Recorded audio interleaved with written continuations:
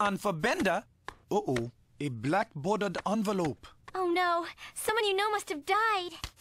I hope it was one of my enemies. Those guys suck.